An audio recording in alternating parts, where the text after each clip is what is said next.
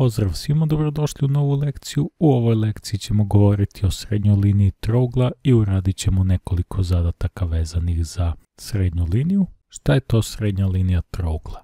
Ajmo za početak da uzmemo neku stranicu ovog trougla i da nađemo njeno središte. Recimo mogu da uzmem ovu stranicu AC i da nađem njenu sredinu, njeno središte. Recimo da to bude ova tačka, mogu da je označim sa K to mogu da uradim i za ostale stranice, recimo za ovo duž BC da nađem njenu sredinu, da obeležim sa L i mogu da nađem recimo sredinu i ove treće stranice AB da obeležim sa M.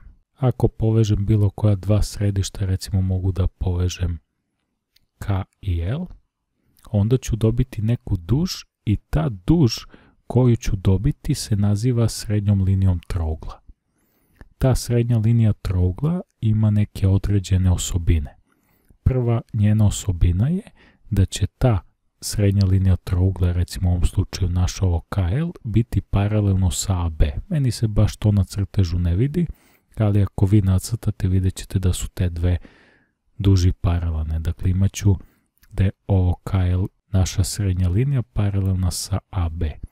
I ne samo što je paralelna, nego će njena dužina biti jednaka pola dužine stranice AB. Drugim rečima, ako ja imam da je ovo celo AB, meni na primjer dužine 10 cm, to će značiti da ova srednja linija će imati dužinu 5 cm, odnosno bit će pola dužine ove stranice AB. Također, ako povežemo neka druga dva središta, recimo L i M, opet će se desiti ista situacija. L, M će biti paralelno sa ovom trećom stranicom trougla, u ovom slučaju AC.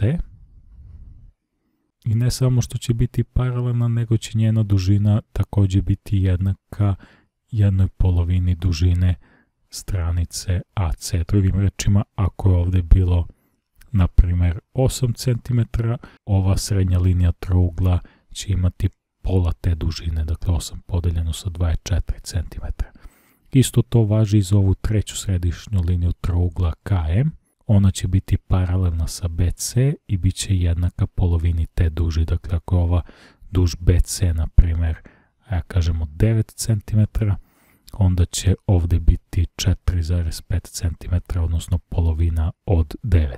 Ajmo sada da krenemo sa zadacima prvi zadatak koji imamo, da imamo neke tačke P i Q koje su središta stranica AC i BC, trougla ABC, imamo da je dužina stranice AB 30 cm, dakle dužina ove stranice AB 30 cm, imamo ovu tačku P koja se nalazi na sredini duži AC i tačku Q koja se nalazi na sredini duži BC. Pa kada mi povežemo te dve tačke koje su središta stranica, mi dobijamo srednju liniju trougla. Dakle, meni ovdje PQ je srednja linija. Ako je PQ srednja linija, mi znamo da je njena dužina jednaka polovini njene naspravne stranice trougla, odnosno ove stranice koju srednja linija trougla ne dodiruje, dakle ona ne dodiruje ovo AB, tako da će PQ biti jednako jednoj polovini stranice AB, a mi znamo da nam je AB 30 cm, dakle PQ će biti jednako jednoj polovini od 30 cm, dužina duži PQ će biti jednaka pola od 30 cm je 15 cm. Dakle, dobili smo da je ovdje ova dužina duži 15 cm. Nadam se da zadatak nije bio težak. Nastavljamo dalje. Ako ste otprilike pohvatali svojstva srednje linije trougla i ovaj sljedeći zadatak vam neće biti težak, dakle imamo tačke P, Q i R koja su središta stranica AB, BC i AC trougla ABC. Imamo da je PQ 10, dakle stavit ćemo do ovdje 10 cm, imamo QR da je 16 i imamo da je RP 14. Potrebno je da nađemo obim trougla ABC.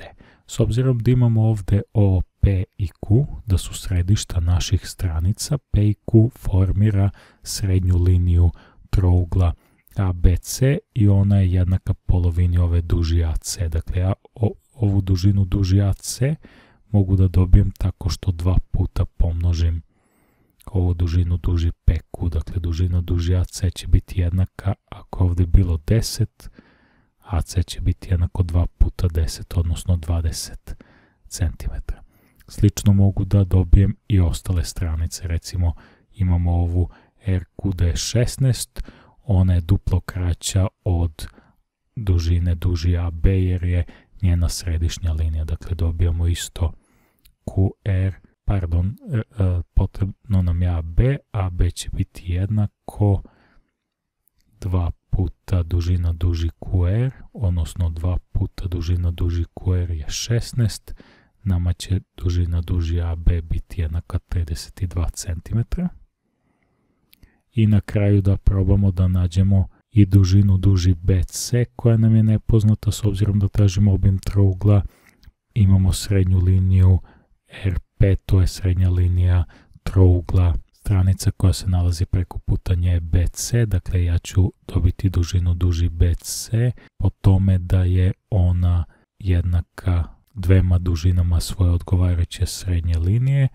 Srednja linija njena je RP koja odgovara, dakle to će biti 2 puta 14, odnosno dužina duži BC će biti jednaka 28.